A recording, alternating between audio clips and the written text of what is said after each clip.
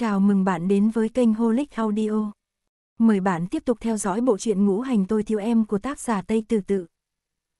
chương 85, Phòng Bóng đen trên trần nhà trông khá mơ hồ, nhưng có thể nhận ra hình dáng của một người. Chu Gia Ngư lập tức nói, sư bá, trên trần nhà có vật gì đó, nó đang tiến về phía này. Lâm Giác lập tức lấy ra lá bùa, đưa cho mỗi người một lá bảo họ đặt vào trong túi. Chu Gia Ngư ban đầu nghĩ rằng những lá bùa này chỉ để tránh quỷ, ai ngờ khi cầm lá bùa trong tay, bóng đen mơ hồ liền hiện rõ hình dáng. Đó là một người bị treo cổ, cổ dài hơn bình thường, vặn vẹo, sắc mặt tái xanh, lưỡi thè ra ngoài, đúng là hình ảnh kinh điển của treo cổ quỷ. Chu Gia Ngư có thể nhìn rõ dáng vẻ của họ, trong khi những người khác chỉ thấy hình thái mơ hồ. Giang Húc Đào, người nhìn thấy bóng đen qua lá bùa, sợ hãi đến mức suýt nhảy dựng lên, miệng lẩm bẩm những lời thô tục chỉ người địa phương mới hiểu rõ. Sư bá, những người này là quỷ treo cổ. Chu gia ngư ngước đầu, miêu tả đặc điểm của họ, cơ bản xác định lai lịch của những bóng đen này. Lâm Giác nghe vậy nhưng nhíu mày, rồi đột ngột nói, không đúng.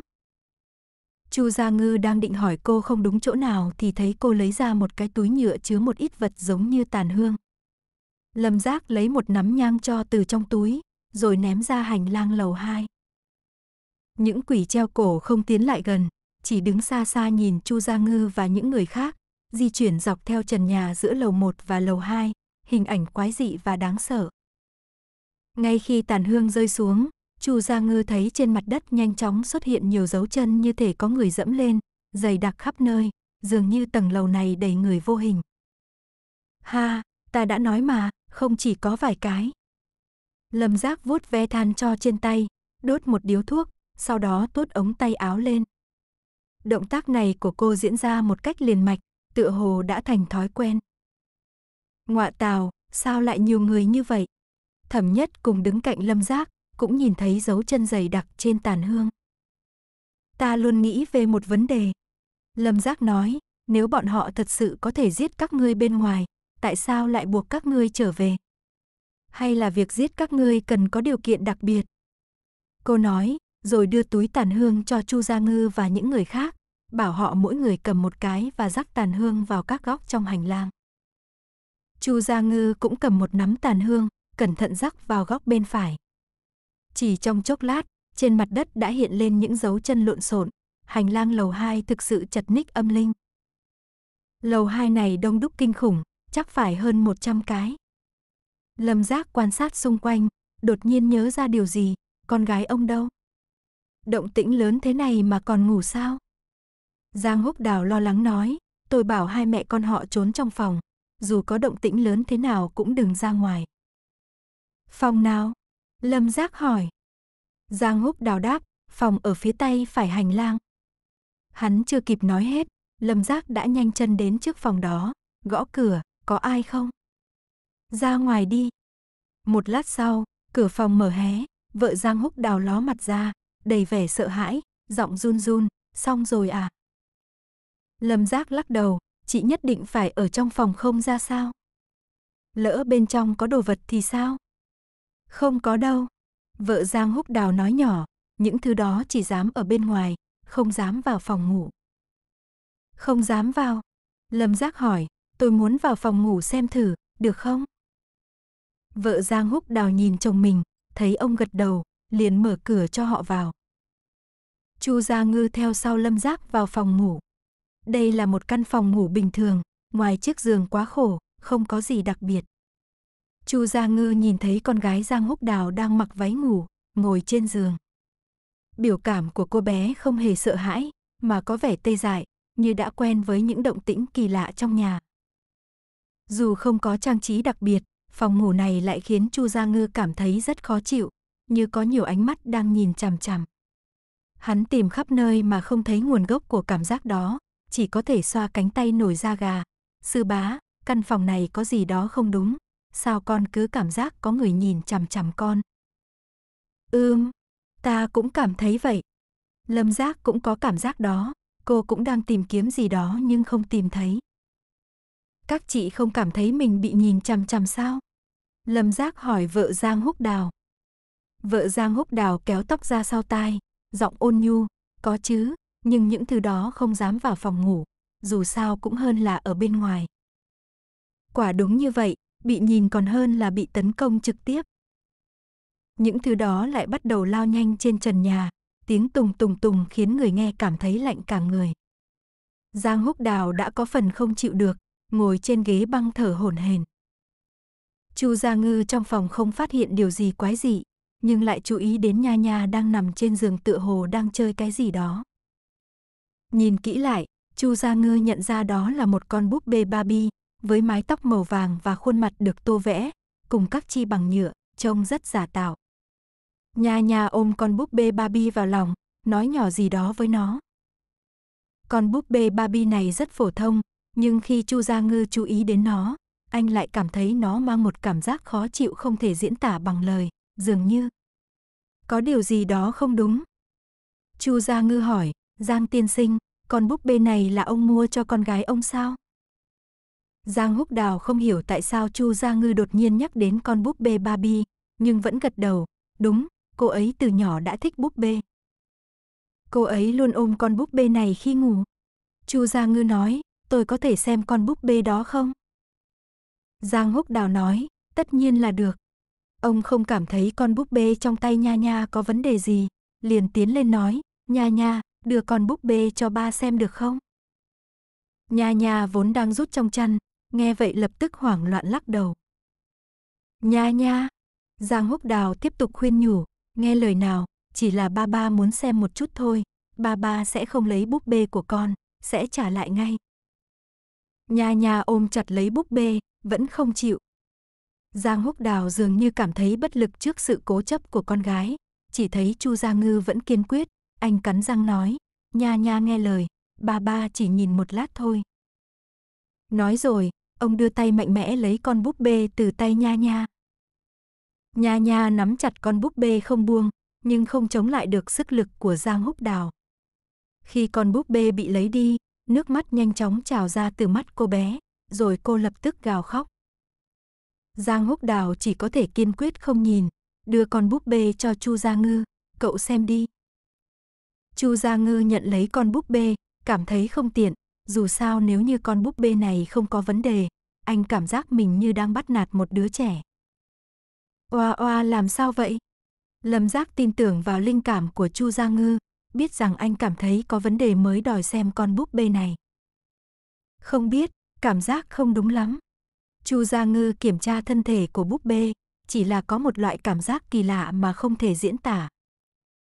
Nhìn kỹ hơn, búp bê dường như không có gì dị thường, trong khi Nha Nha vẫn đang gào khóc. Chu Gia Ngư do dự liệu có nên trả lại búp bê cho cô bé. Bên cạnh, Thẩm Nhất cùng hỏi, búp bê này có thể tháo rời được không? Chu Gia Ngư đáp, tôi không biết, có thể sao? Thẩm Nhất cùng trả lời, cậu đang nói gì vậy, tôi cũng không biết mà. Chu Gia Ngư nhìn anh ta, không nói thêm gì. Thẩm Nhất cùng tức giận đến nhe răng trợn mắt. Sau khi xác nhận với Giang Húc Đào, ông cho biết búp bê này có thể tháo rời, thậm chí có thể thay đổi các bộ phận tay và chân để tạo ra các tư thế khác nhau. Vì vậy, Chu Gia Ngư nắm lấy phần dưới và phần trên của búp bê, dùng một chút lực, búp bê liền bị tách thành hai nửa. Lạch cạch một tiếng, ngay khi búp bê bị tách ra, một vật nhỏ rơi ra từ bên trong, rơi xuống sàn nhà.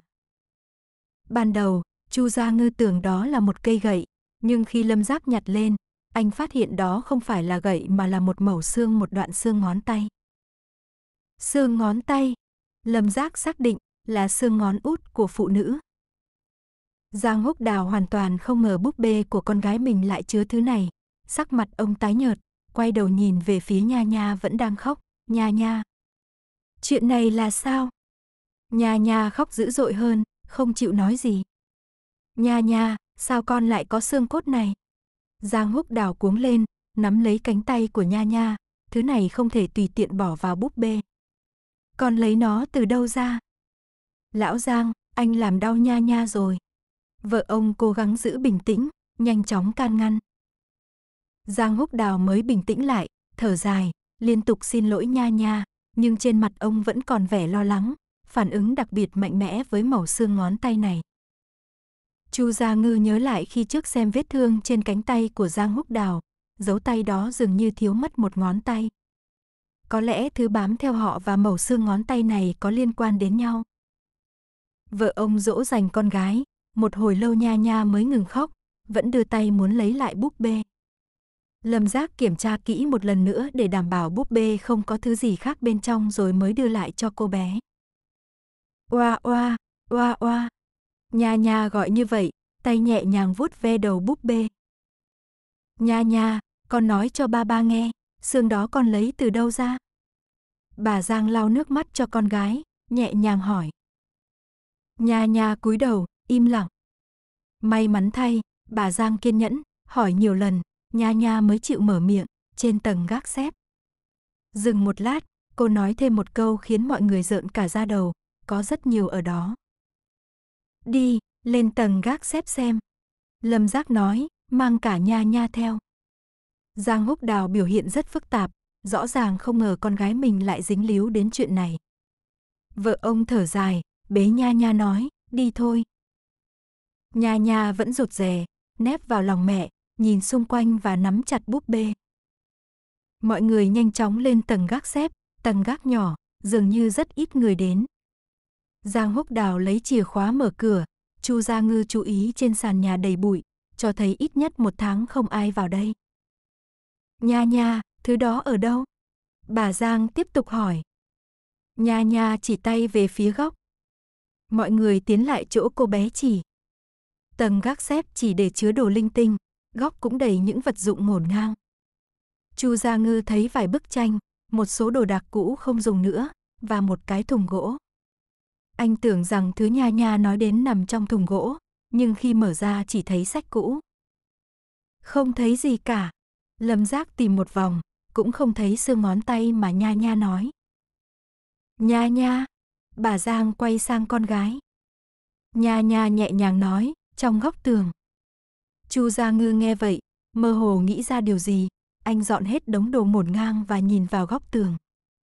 Đúng như dự đoán, ở đó, vách tường bị bong chóc, lộ ra lớp 11 măng xám, và trong 11 măng, có những màu màu trắng nhô ra.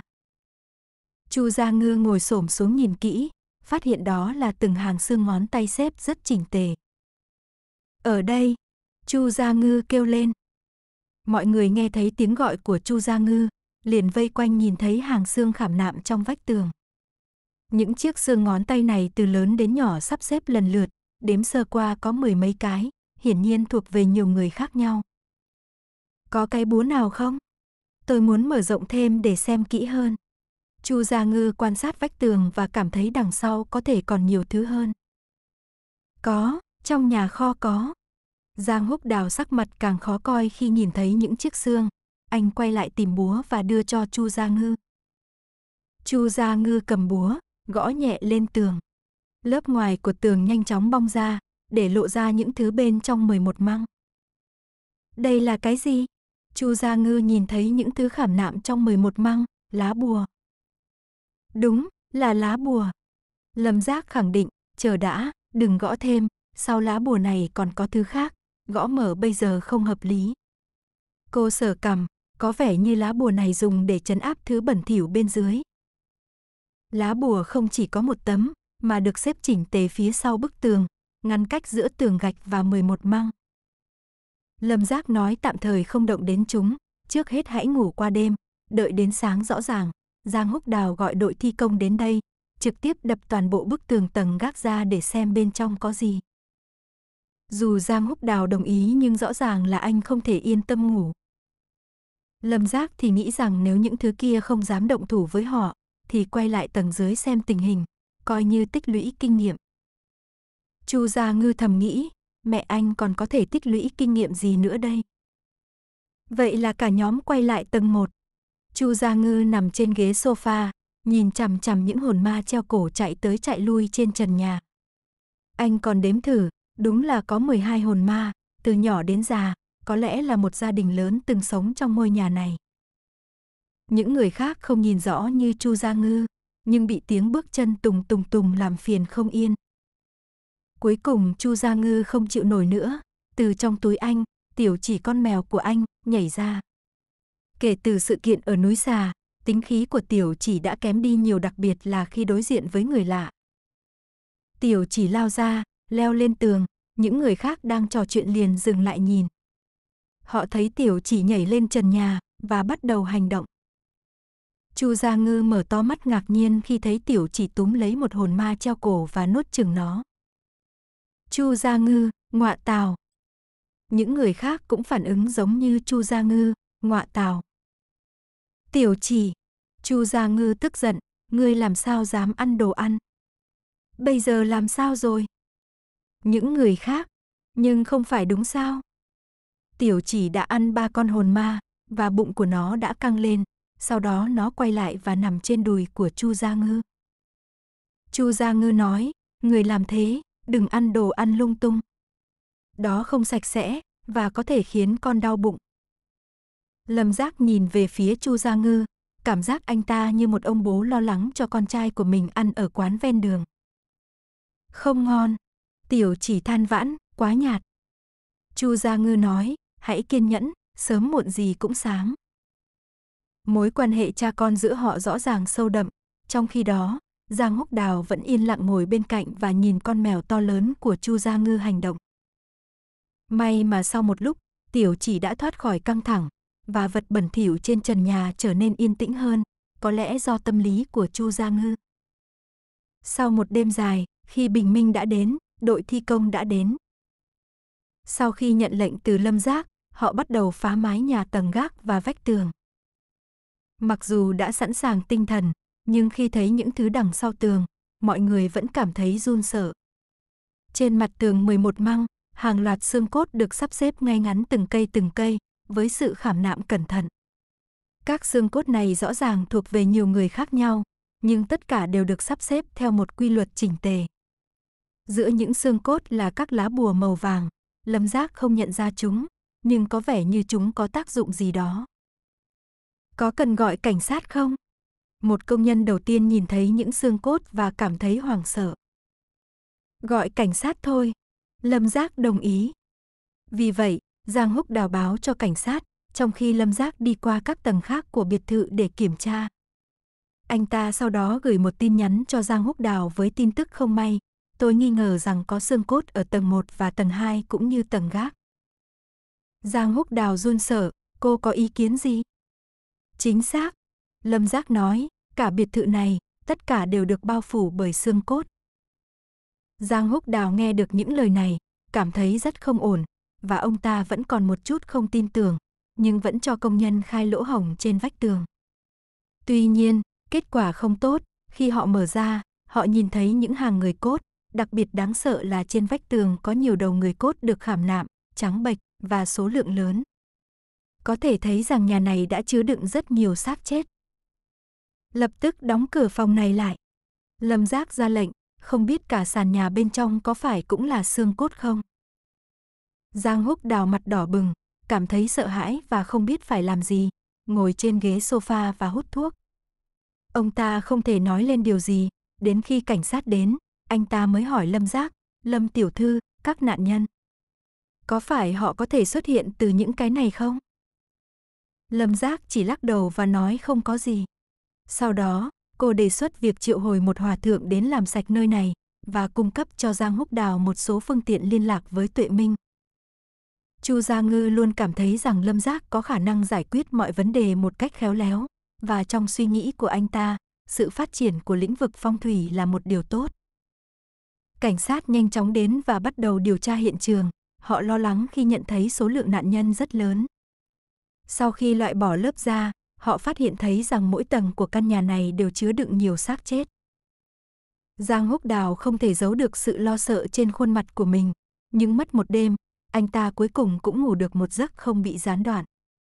Một trong những điều anh ta lo lắng nhất là việc phải quay lại căn nhà đó trong đêm một lần nữa. May mắn thay, anh ta không bị đánh thức bởi tiếng nói kỳ quái nào vào đêm đó, và người thê của anh ta cũng không có dấu hiệu nào của sự xâm nhập bởi lực lượng siêu nhiên. Một trong những điều đáng nghi nhất về vụ án này là việc phòng ở đầu tiên, nơi mà hai người chủ nhân trước đây đã sống, không có bất kỳ dấu vết nào về họ.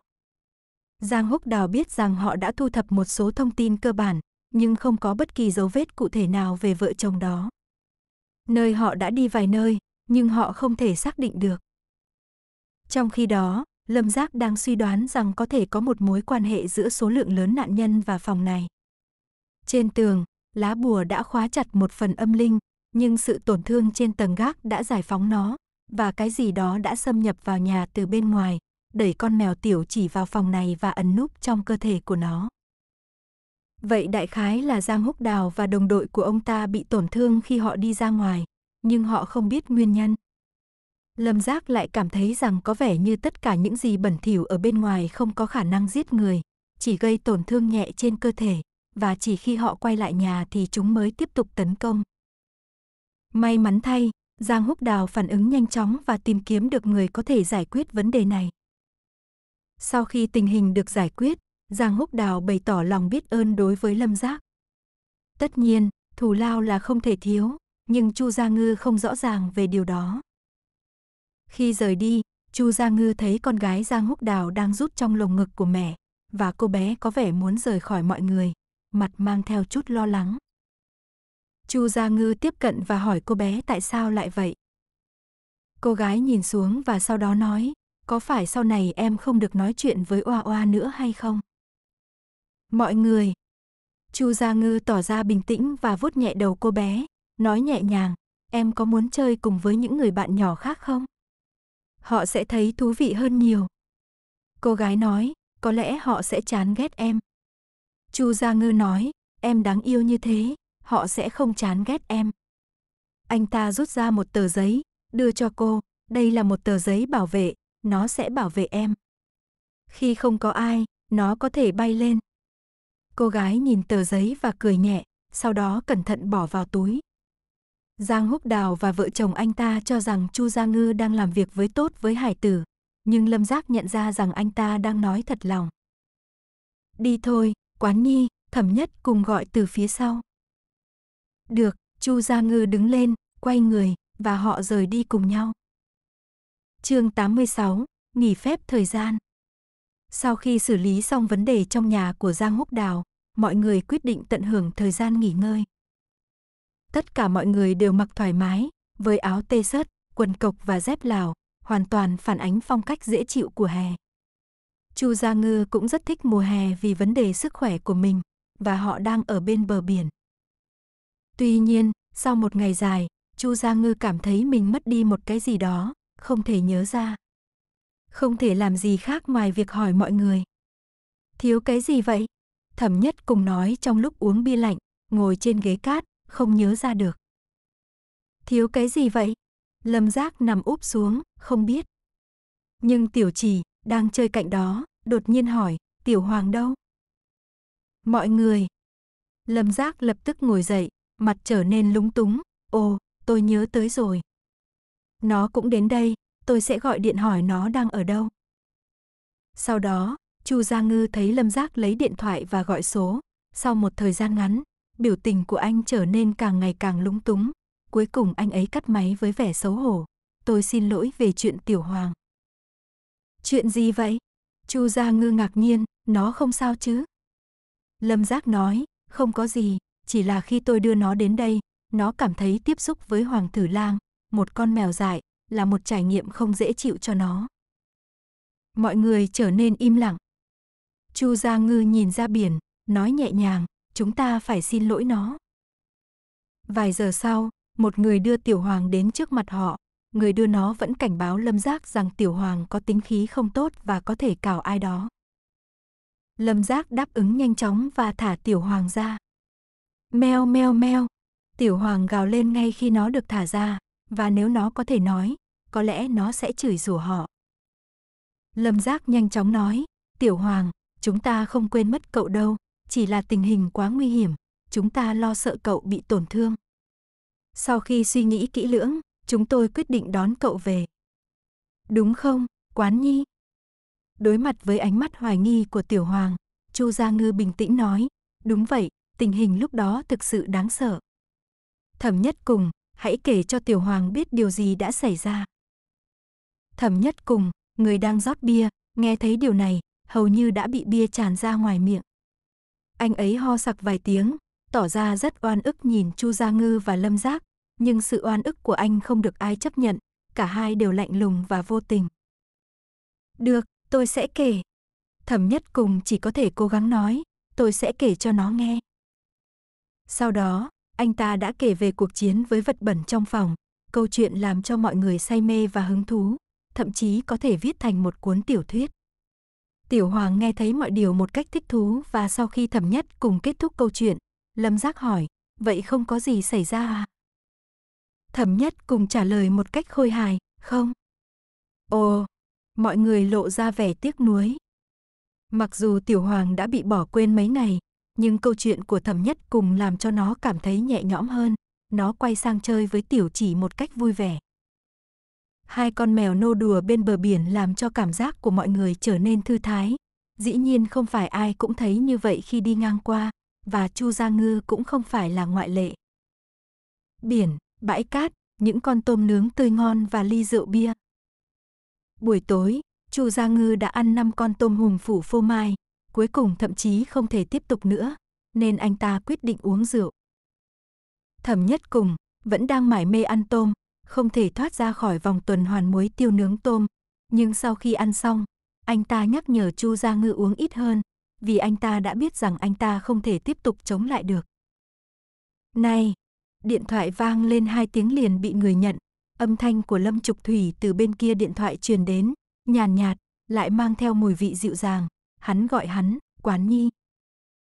Tiên sinh, tiên sinh, Chu Gia Ngư vừa nghe đến âm thanh của Lâm Trục Thủy liền bắt đầu kêu to. Hà, Lâm Trục Thủy hiển nhiên là phi thường nhạy cảm khi nghe thấy Chu Gia Ngư trạng thái không bình thường. Ngươi đã uống rượu. Chu Gia Ngư lớn tiếng nói, không, không uống. Ta chỉ muốn trò chuyện với tiên sinh thôi. Hắn nói xong câu này, tự nụ cười ngây thơ hiện trên môi, sau đó lại có chút ủy khuất. Mấy ngày không gặp tiên sinh, thấy nhớ quá đi. Lâm Trục Thủy trầm ngâm một chút, sau đó âm thanh của hắn trở nên ấm áp nhưng đầy sự bất đắc dĩ. Ngày mai ta sẽ trở về, các ngươi ở thành phố S, mọi việc đã xong chưa? Lần này có bị phiền phức gì không? Chu Gia Ngư tự tin nói rằng tiên sinh không ở đây, nên anh không lo lắng. Hai người trò chuyện, không khí rất tràn đầy tình cảm nhưng cũng hơi đắng. Cuối cùng, thẩm nhất cùng không thể kiềm chế được nữa, anh ta bước vào góc phòng và ôm tiểu chỉ, lặng lẽ rơi nước mắt, nói rằng anh cũng muốn trò chuyện một chút như vậy. Tiểu chỉ hiểu và đồng ý, ôm anh, an ủi anh một cách tận tình. Lâm Giác càng nghe điều đó, nụ cười của cô càng trở nên sâu hơn. Cô nói, quán nhi của chúng ta, dù say rượu vẫn muốn gọi điện thoại cho anh. Lâm Trục Thủy nghe thấy điều này, âm thanh của anh trở nên không mấy thoải mái. Anh nói, cô đã gửi số điện thoại của tôi à? Làm sao anh biết? Lâm Giác nghi ngờ. Cậu ta rõ ràng rất sợ. Lâm Trục Thủy nói, có lẽ cậu ta còn không dám gọi điện thoại cho tôi khi say rượu. Lâm Giác nói rằng không nhất định vậy. Và vậy, giữa đêm, mọi người tiếp tục ăn uống, còn Chu Gia Ngư thì không thể ngừng nói chuyện qua điện thoại, dù cả hai vẫn cảm thấy hơi căng thẳng khi ở chung, nhưng sau khi uống một ít rượu, tâm trạng của họ đã trở nên vui vẻ hơn. Khi cuối cùng quay lại phòng nghỉ để nghỉ ngơi, Chu Gia Ngư đặt chiếc điện thoại di động nóng bỏng lên gối, sau đó chìm vào giấc ngủ sâu. Chỉ đến khi anh ngủ một chút, Lâm Trục Thủy mới ngắt cuộc gọi. Ngày thứ hai, khi Chu Gia Ngư rời giường, cảm giác cơ thể như một khúc gỗ, từ đầu đến chân đều tê liệt. Anh bò ra khỏi giường và nhận ra rằng chiếc điện thoại của mình đã hết pin, nhưng ánh nắng mặt trời đã chiếu vào qua cửa sổ, cho thấy rằng đã đến giữa trưa. Tiểu trì, Chu Gia Ngư xoa đầu, tối hôm qua chúng ta đến cùng uống nhiều ít vậy. Thẩm nhất cùng nói, cỡ 6, 7 bình. Chu Gia Ngư, 6, 7 bình. Nhiều như vậy. Thẩm nhất cùng mặt lộ vẻ khinh bỉ, ngươi uống ba bình gục, còn lại đều là chúng ta uống. Chu Gia Ngư, tử lượng không tốt, cũng không thể trách hắn đi. Bất quá, dù uống say nhưng hắn vẫn không ngừng, ít nhất từ sắc mặt có thể suy đoán được, thẩm nhị bạch và thẩm mộ tứ hẳn cũng đã rơi vào trạng thái say rượu khó khăn. Thời gian nghỉ ngơi chính là như thế, cho phép đầu óc bay lượn tự do, không cần lo lắng về công việc hay bất cứ điều gì khác, chỉ đơn giản là làm bản thân trở thành một người vô bổ. Chu Gia Ngư đi dọc bên bờ cát và ngả người xuống, bao phủ bằng cát. Anh bất ngờ hiện ra mặt ngoài, và dĩ nhiên, để tránh bị nắng chói, Chu Gia Ngư nhờ Tiểu chỉ giúp anh mở một chiếc ô từ dưới cát, để chống lại tia UV. Sự ấm áp của ánh nắng mặt trời và nước biển làm cho cảm giác trở nên dễ chịu. Cảm giác mềm mại của cát và nước biển dính vào da khiến cho cảm giác thêm thú vị.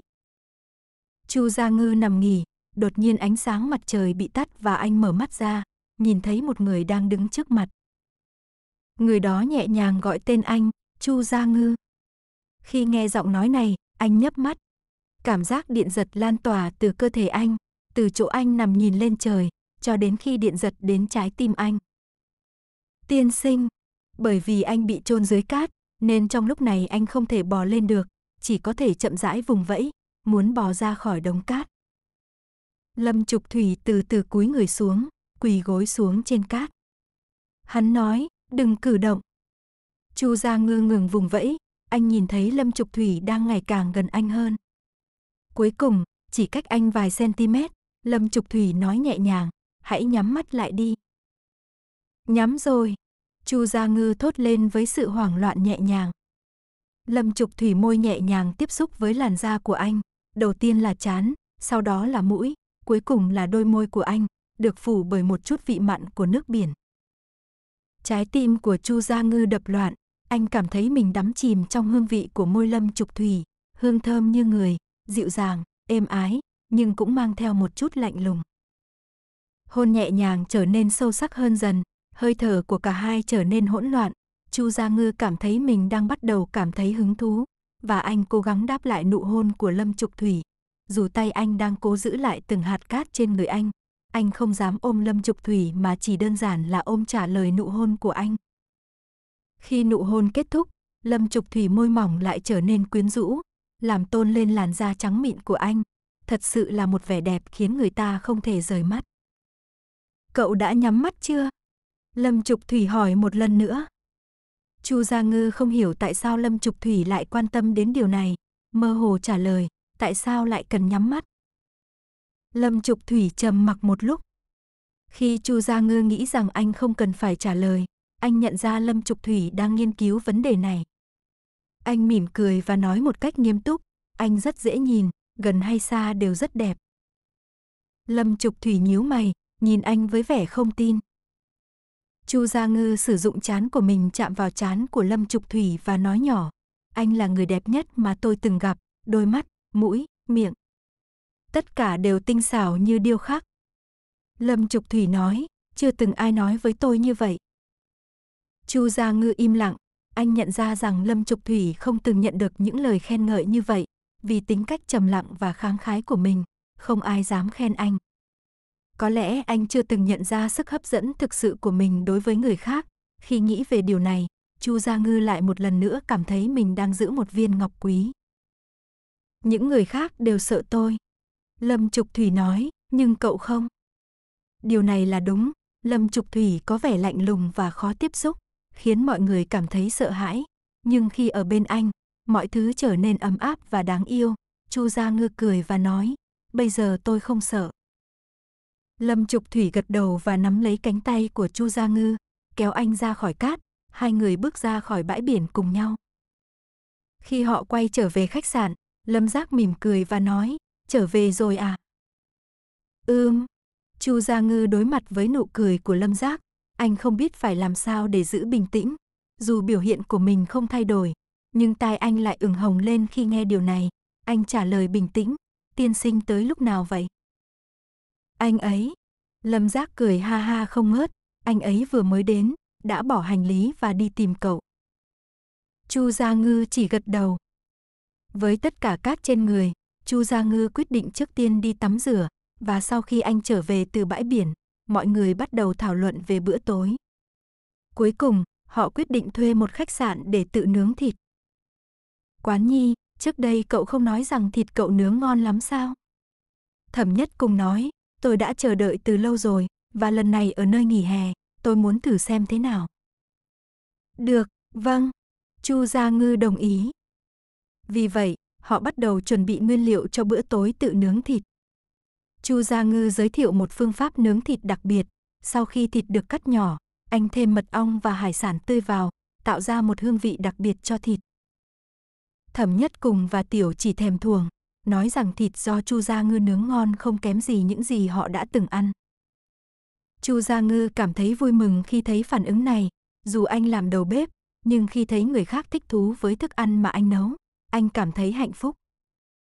Vậy là có chuyện gì xảy ra lần này? Lâm Trục Thủy cũng lấy thịt do Chu Gia Ngư nướng kỹ, sau khi thử một miếng, anh cũng tỏ ra hài lòng và hỏi về hành trình của họ.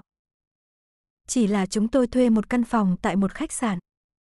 Lâm Giác uống bia, trả lời một cách dễ dàng, không có gì lớn lao, chỉ là thư giãn thôi. Anh nói xong nhớ lại rằng trước đó anh đã nói một lời dối, nhanh chóng liếc nhìn sang Hoàng Thử Lang ngồi bên cạnh. Đúng như dự đoán, ánh mắt của Hoàng Thử Lang đang nhìn chằm chằm vào anh, tỏ ra không hài lòng với sự nói dối của anh. Khụ khụ khụ, Lâm Giác ho khan vài tiếng, sau đó bổ sung, thực ra, chúng tôi gặp một chút rắc rối. Lâm Trục Thủy không để ý sự biến đổi trong giọng điệu của Lâm Giác và không hỏi kỹ, anh chỉ nói nhàn nhạt, không bị thương là tốt rồi, còn về phần này, tôi đã nói trước để họ rời đi, tránh gặp phải bất kỳ rủi ro nào không mong muốn. Lâm Giác gật đầu đồng ý và sau đó hỏi Lâm Trục Thủy đi đâu. Lâm Trục Thủy không tiết lộ gì cả và trả lời, tôi đang đi tìm từ Kinh Hòa. Từ Kinh Hòa? Lâm Giác ngạc nhiên, anh tìm thấy anh ấy. Lâm Trục Thủy gật đầu. Lâm Giác tiếp tục, anh ấy nói gì không? Lâm Trục Thủy nhẹ nhàng gõ bàn bằng ngón tay, trả lời một cách khái quát, anh ấy không muốn nói. Lâm Giác nhấn mạnh, nhưng anh ấy là thành viên của gia tộc Từ, hành động này của anh ấy có vẻ rất đáng nghi, và có khả năng có người khác đứng sau, chỉ là chúng ta không thể biết được. Tại sao anh ấy không muốn tiết lộ điều này? Từ thị đã bị mất, anh ấy muốn làm gì? Lâm Trục Thủy lắc đầu và không tiếp tục nói chuyện. Thôi, không cần phải quan tâm đến anh ấy ngay bây giờ. Lâm Giác nâng chén rượu, bây giờ chúng ta đang trong kỳ nghỉ, không nên lo nghĩ quá nhiều, hãy thư giãn và tận hưởng kỳ nghỉ đi. Mọi người đều đồng ý và hưởng ứng ý kiến của Lâm Giác. Chu Gia Ngư cũng nâng chén và uống một ngụm. Dù anh đã uống khá nhiều vào ngày hôm qua, nhưng lần này anh không dám uống quá mạnh, chỉ uống một cách nhẹ nhàng. Việc nướng thịt và thưởng thức được đón nhận nồng nhiệt, và sau khi no nê, trời đã bắt đầu tối dần. Ban đêm không khí không còn yên bình, tiếng gió biển len lỏi qua và tiếng sóng vỗ lên bờ cát, mang theo hương vị mặn mòi của biển, làm cho tâm trạng của mọi người trở nên dễ chịu và thư thả hơn. Lâm Trục Thủy cũng uống một ít rượu vào buổi tối, và bây giờ mùi rượu nhẹ nhàng trên người anh. Anh ngồi bên cạnh Chu Gia Ngư, nhẹ nhàng hỏi anh có muốn dạo bộ ven biển một chút không? Chu Gia Ngư trả lời cẩn thận và đồng ý, sau đó anh bị Lâm Trục Thủy dắt đi. Hai người đi dọc theo bờ biển, anh không mang giày, bước chân lên bờ cát mềm mại, cảm giác nhẹ nhàng và tinh tế của hạt cát xâm nhập vào giữa các ngón chân của anh. Hai người không nhiều lời, nhưng bầu không khí rất dễ chịu.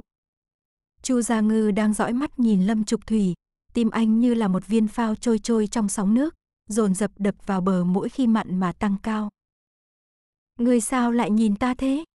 Lâm Trục Thủy cảm thấy có chút khó chịu vì ánh mắt quá nồng nhiệt của Chu Gia Ngư. Ưm, Chu Gia Ngư nhận ra rằng mình đã nhìn quá nhiều, nhưng vẫn thẳng thắn thừa nhận. Anh trả lời một cách trầm ổn, tiên sinh rất dễ nhìn. Sau đó, anh bổ sung, nhìn như thế nào cũng chưa đủ. Lâm Trục Thủy ngừng bước, quay lại nhìn Chu Gia Ngư, và nghiêm túc nói, vậy thì tôi có thể lại hôn em lần nữa không? Chu Gia Ngư ngạc nhiên vì Lâm Trục Thủy nói như vậy một cách tự nhiên, và sau đó cúi đầu đỏ mặt trả lời, ừ, vâng. Sau đêm đó, khi trở về phòng của mình, Chu Gia Ngư cảm thấy môi hơi sưng, và anh cuộn tròn trên giường, vò lấy mình. Tiểu chỉ ở bên cạnh nhìn Chu Gia Ngư với ánh mắt không hiểu, và hỏi anh cảm thấy sao, có vấn đề gì không? Con trai ngốc của ba. Chu Gia Ngư ôm Tiểu chỉ và đặt chán vào đầu bé, ba thật sự là một người tự mãn. Tiểu chỉ gật đầu, không hiểu rõ. Chu Gia Ngư không giải thích thêm, chỉ vuốt nhẹ đầu của bé, không có gì, con vẫn còn nhỏ, chờ lớn lên sẽ hiểu. Nhưng anh cảm thấy một chút buồn bã, hiện tại chỉ còn lại tiểu chỉ trong xà sơn, Và khi bé lớn lên và lấy vợ, anh sẽ cô đơn thế nào? Uống quá nhiều rượu có lẽ khiến Chu Gia Ngư cảm thấy buồn. Anh nhớ về những người bạn của mình trước đây và đột nhiên muốn quay lại thời điểm đó để thăm hỏi họ. Nếu có thể, anh sẽ phải dành thời gian để đi thăm họ, Chu Gia Ngư nghĩ vậy, và sau đó anh nhắm mắt và chìm vào giấc ngủ. Kỳ nghỉ chỉ kéo dài trong thời gian ngắn, và mọi người đã rời khỏi thành phố S sau khoảng mười mấy ngày, để chuẩn bị cho Tết. Cần phải trở về mua sắm Tết đây. Lâm Giác nói, năm nay tôi muốn tự làm bánh Tết. Quán Nhi, anh biết làm bánh Tết không? Chu Gia Ngư trả lời, biết chứ, nhưng chưa từng tự làm. Tại sao lại phải tự làm đột ngột vậy? Lâm Giác đáp, đây là động lực từ lòng đam mê. Chu Gia Ngư cảm thấy Lâm Giác có vẻ hơi kỳ quặc, nhưng anh vẫn không biết mở cửa hội ý được. Phần này đến đây là hết. Mời các bạn theo dõi tiếp các video khác trên kênh. Nếu các bạn yêu thích kênh, hãy nhấn theo dõi nhé. Cảm ơn các bạn.